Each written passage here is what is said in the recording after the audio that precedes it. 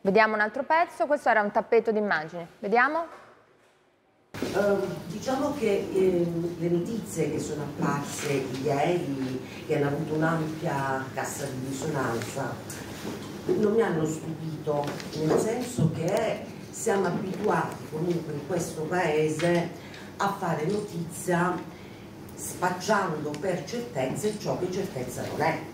Ci troviamo di fronte a una sentenza di primo grado non definitiva, priva ancora di motivazione, ci sarà nel corso del tempo, ma ancora non c'è. C'è un altro pezzo, chiedo se possiamo alzare un attimo l'audio anche in studio perché così capiamo uh, quello detto, appena detto al microfoni. Sentite.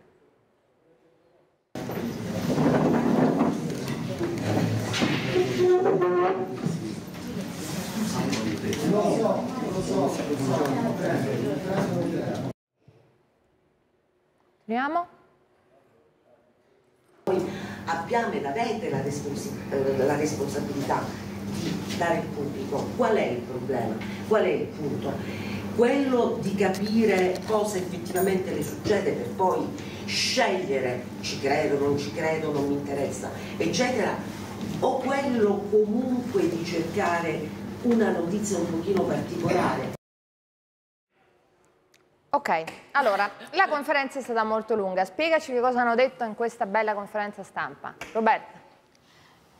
La prima cosa, il, primo punto, come abbiamo detto, è che Gisela ha detto che non ha alcuna difficoltà di incontrare il Vescovo, anzi, essendosi insediato da pochissimo, avrebbe avuto piacere a conoscerlo non in questa situazione, perché mh, dice la pressione mediatica è stata talmente tanto che ha indotto il, il Vescovo ad avviare questa indagine. Poi, tramite il suo avvocato, ha specificato e ha chiarito la sua posizione circa eh, la condanna di primo grado per banca bancarotta fraudolenta, è stata condannata in primo grado a due anni con pena sospesa. Lei ha detto che è stata una leggerezza del suo passato, che non c'è stato dolo. L'avvocato ha precisato però che ci troviamo ancora nel primo grado di, di, di giudizio e quindi fino al terzo grado non si può mh, condannare definitivamente una persona, siamo eh, in Italia, ha precisato, e quindi per il momento c'è solo una condanna di primo grado. Ancora bisogna vedere i tre gradi di giudizio prima di eh, emettere una sentenza definitiva e comunque è stata una leggerezza del passato di Gisela. Eh, per quanto riguarda invece poi la Madonnina che piange, quella che lei tiene all'interno della sua casa eh, e oltre alla Madonnina eh, piangerebbe anche, avrebbe pianto anche l'immagine eh, di un uh, Cristo acquistata eh, a Roma a Roma avrebbe anche pianto lacrime di sangue, mm, sia la statua che l'immagine non viene portata, ha precisato Gisella, in pubblico, cioè non viene portata fuori dalla casa per preservare le lacrime della Madonnina e per preservare questa statua. Va precisato che il 3 di ogni mese Leonora, ehm, la Madonna, eh, dà dei messaggi e mm, da fedeli che hanno partecipato a questi incontri, ehm, dei fedeli che hanno partecipato più volte anche a questi incontri, eh, ci è stato detto che non solo il 3 di ogni mese, non solo alle 3 precise, più o meno, come ha detto Gisela, mm, minuto in più, minuto in meno,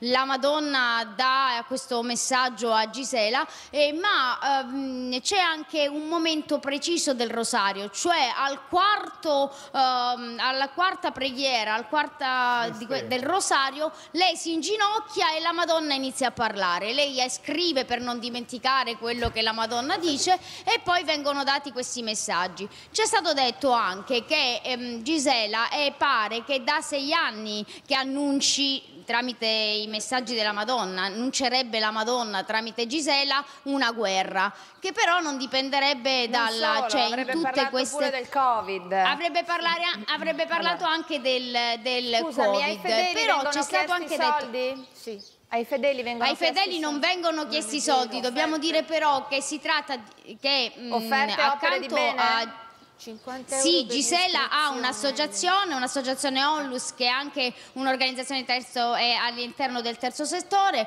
e vengono fatte delle donazioni libere, donazioni che hanno permesso di acquistare il terreno, che hanno permesso di eh, fare dei lavori eh, che hanno comportato anche delle cifre sostanziose, 40.000 euro il terreno, 12.000 euro la recinzione e poi ci sono stati dei fedeli che hanno acquistato la statua grande, quella che si trova nella località delle Rose dove eh, si incontrano i fedeli. Poi ci sono le varie convenzioni che l'associazione ha fatto con alcune strutture ricettive, dove abbiamo fatto la conferenza stampa, ad esempio c'è uno sconto del 10% per pranzare il 3 di ogni mese, eh, piuttosto che eh, dove alloggiare, dove ci sono degli sconti particolari, che devono essere però convalidate le richieste dall'associazione, quindi deve passare tutto all'associazione. Poi ci sono anche dei progetti, è vero, hanno detto in conferenza stampa, stampa, ci sono dei progetti che aiutano con questa spesa solida. Perdonami, l'associazione no profit? Eh? Eh, l'associazione è un'associazione Onlus, ha un bilancio, è tutto certificato. Sì, eh, nel bilancio però noi abbiamo visto il bilancio. Profit? È un no profit, è un no profit, è una onlus e si però comprare i terreni. Ricordiamo Eleonora che può prendere No, Eleonora, ricordiamo anche che però può prendere delle agevolazioni dello Stato, può prendere anche degli incentivi, il 5 per 1000, quindi comunque hanno dei budget che entrano, ci sono dei soldi che entrano all'interno dell'associazione, sappiamo, ma va confermato che all'interno del direttivo dell'associazione ci sono tre persone, il marito, la moglie e credo sia anche c'è una terza persona vicino alla famiglia, quindi eh, il, il, consiglio direttivo è composto da tre persone, marito, moglie e un'altra persona a loro allora, molto io, vicina? Mm, non parlo. Uh, Mirella. Beh, intanto per rispondere a quello che tu chiedevi, lei dice che eh, il terreno l'ha acquistato con dei soldi donati da una persona che era stata miracolata dalla Madonnina. In realtà poi risulta che l'ha comprato lei, quindi questo, come dire, è un giro così. Poi devo dire è tutto pazzesco, lei ha un sito dove si versano 50 euro e poi si va a fare queste gite. E io voglio pregare le persone di non credere, scusate Perché se mi esprimo così eh, direttamente, ma ci sono persone di Trevignano che hanno detto che lei ha delle stimmate che poi vengono via con l'acetone e il cotton fioc. Eh, sono dei fedeli, persone che credono, che hanno raccontato che lei non sapeva nemmeno come si faceva Però, un rosario. Perché l'inchiesta parte solo adesso? Scusatemi, è da anni che succede questa roba. Cioè, perché un'inchiesta um, parte Beh, Eleonora, adesso e guarda, non... di per sé arrivano segnalazioni quasi al minuto e se uno dovesse rincorrerle tutte in giro per il mondo... Segnalazioni di Madonna materia, che piangono? Sì, di, di, di Madonna che piangono, oppure di fenomeni, cose. Lo diciamo subito, insomma. Qui l'ambito, per carità, è quello della fede e dei fedeli, poi c'è un fenomeno straordinario o comunque apparentemente tale, e poi ci sono delle cose di ordine civico e civile, mm. quali ad esempio traffico, cose di questo genere, oppure situazioni che stanno sotto grado di giudizi vari e tutto quanto. L'ambito della fede, certo, interpella la Chiesa, ma non per tutte le cose che ogni persona può dire o segnalazioni di questo genere. Lì ci troviamo anche in un caso specifico, quella diocesi ha cambiato vescovo e il cambiamento di un vescovo non prevede da un giorno all'altro il cambiamento, ma prevede un periodo anche di amministratore La mia domanda è quanto è facile, quanto sarebbe facile, ora io non giudico, lo dico perché altrimenti poi uno dice no, no, ma se no ti denunciano per diffamazione. Allora, io non giudico no, no. nessuno non giudico nessuno, non giudico chi crede o chi non crede, sono affari loro. Io però quando qualcuno mi chiede soldi o una donazione così, eh, francamente sono sempre molto dubitosa e, e, e, consiglio a tutti di non dare mai soldi a nessuno perché la fede non ha bisogno del portafoglio e né del conto in banca, va bene? Questo lo dico da sempre. E li fai diventare detto poveri, questo, Eleonora. Detto questo, eh, Parsi, è, è, così semplice, sarebbe così semplice mettersi una Madonnina in casa e dire che piange se non viene poi controllata? Cioè, questa è una domanda lecita, me la dovete consentire. No, voglio dire, eh? voglio dire, che io anch'io sono stupida come te che nonostante ci siano tante di queste cose, cose che muovono tutto questo vanno controllate immediatamente, non bisogna allora. aspettare. E poi la cosa che vorrei rilevare per la mia competenza è che c'è un bisogno comunque da parte sì, delle persone di sentirsi dire che cosa succederà, c'è la paura del futuro. Quindi queste cose ti ingabbiano incredibilmente perché qualcuno che ti dice, magari azzeccandoci, che arriverà la guerra e poi magari succede, poi magari già come previsione, beh, ti ingabbia. Allora, questo discorso della Madonnina che piange lacrime di sangue, già simbolicamente una Madonna che piange lacrime di sangue dovrebbe far pensare a un discorso del femminile, visto che sai, con le lacrime di sangue, ma va bloccato, va detto immediatamente che situazione è, perché attenzione, ci sono state persone come Padre Pio perseguitate in, in maniera incredibile che poi avevano questa capacità di incontrarti e dirti, era una, una, una cosa enorme, allora, è stato controllato. Noi la seguiamo da esatto, tanto da tempo. Tempo. Dal 2016 ce ne Beh, siamo sì, lo so, da tanto tempo la seguiamo questa storia, so. scusatemi. Ehm... Questa di, della Madonnina?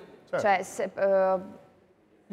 eh? Vabbè, Passando, allora, anche un per un'estate, passando anche per un'estate dove nelle Marche ci siamo accorti che c'era una Madonnina e le lacrime erano quelle di sangue di un capriolo. Cioè situazioni, noi non stiamo giudicando la, la, no, la situazione detto, nel particolare. Valutando permettete che in questo caso siamo anche dei danneggiati perché è strumentalizzata eh certo, la fede. E certo. purtroppo la buona fede di molte delle persone che hanno questi tipi di bisogno. Dove lo abbiamo detto e lo ribadiamo nessuno ha la capacità di mettere le mani sul futuro e il Padre Eterno non ci manda persone per imbrogliarci o a cui dà delle capacità che non dà ad altri perché sono delle persone chissà distinte come. E le questioni dei soldi non sono il distintivo della Chiesa. Nella Chiesa i soldi sono dei poveri e non si va avanti così nella nella fede e quando ci sono sono strumenti per aiutare quelle situazioni. Quindi tutto il resto, quando c'è ed ha altre finalità, quello va stigmatizzato ed è una delle materie di indagine che è appunto quella che è stata ufficialmente attivata, prima della quale viene fatta una conferenza stampa, questo accostamento sarà appunto da accertare e da, e da vedere, ecco questa indagine vedrà tutti quanti questi aspetti. quello che mi preoccupa molto di tutta questa situazione e il paradosso sono anche le persone anziane, magari quelle che rimangono da sole, a cui viene promessa un, un al di là migliore attraverso l'intercessione di queste profezie della Madonnina. Ecco, queste signore che magari senza nessuno lasciano i loro denari a questa associazione, cioè gli anziani, quelli più fragili, che magari vengono irretiti. Perché poi... Vediamo che cosa succede ogni tre del mese. Allora, noi eh, raccontiamo questa, questa situazione eh, per riflettere e far riflettere, che è importante. Sentite. Innanzitutto benvenuti a tutti, tutte le persone che sono qui, anche sotto la pioggia, anche dopo le sciocchezze che sono state scritte sui giornali, che qui c'era la multa, hanno preso le multe, eccetera. Ovviamente non è vero, ma i giornali si divertono a scrivere anche sciocchezze. L'importante è che la Madonna si faccia conoscere a questo punto. Allora, innanzitutto saluto voi e le persone che mi seguono e vi ringrazio per essere qui in questo momento particolare e anche difficoltoso per tutti noi. Vi chiedo preghiere e vi ringrazio, vi mando un bacione grande. Allora, I giornali scrivono, mm, sul fatto che scrivano sciocchezze o meno lo vedremo, mm, non è che, eh, come dire, bisogna essere imparziali solo da una parte, eh, no? Allora, continuiamo ad ascoltare quello che ha detto questa signora. Ora, questo è un periodo dove credo che la cosa migliore per tutti sia il pentimento. Dobbiamo cercare di confessarci, dobbiamo ritornare a Dio. Perché non è che si ritorna a Dio, ma anche, per esempio, il Signore dice, o oh la Madonna, ciao, dice fate dei digiuni, ma il digiuno non significa solo mangiare pane e acqua, ma facciamo i digiuni di quelli, delle cose alle quali siamo più legate. Oggi posso dire, facciamo il digiuno dei cellulari. Ce n'è un altro pezzo?